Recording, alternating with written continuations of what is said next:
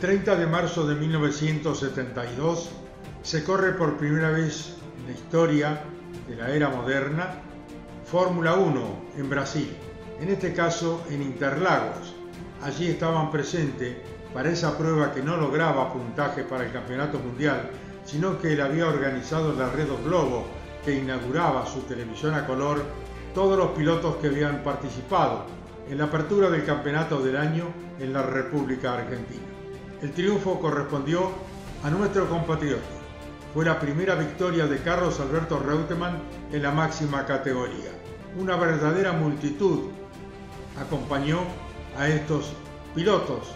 Allí estaban, claro está, los Fittipaldi, Pache, que eran la atracción brasileña junto a todos los monstruos que integraban la troupe de la Fórmula 1 y esta primera victoria que tuve el honor de transmitir desde Interlagos, Brasil, primer triunfo, repito, para Carlos Alberto Reutemann en Interlagos.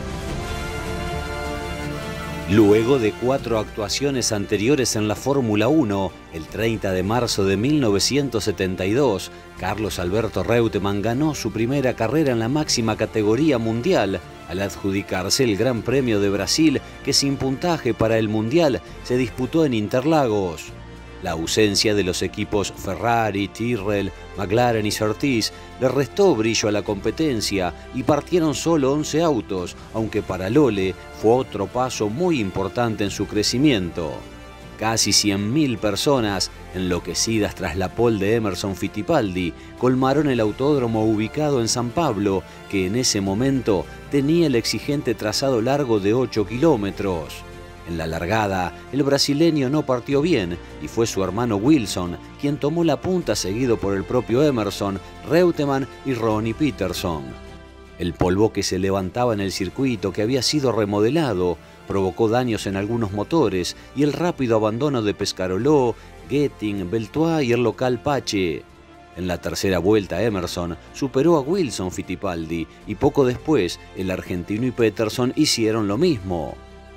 A partir de allí, las principales posiciones se estabilizaron y el líder se alejó de Lole como así también este del sueco, quien faltando 11 vueltas debió ir a boxes con una goma rota en su march, aunque luego se recuperaría.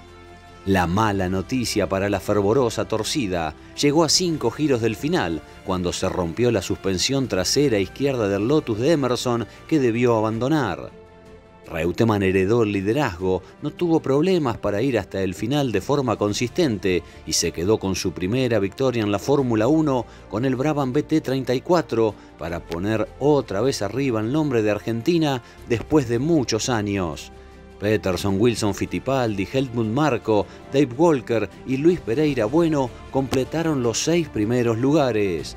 Lole en lo más alto del podio por primera vez.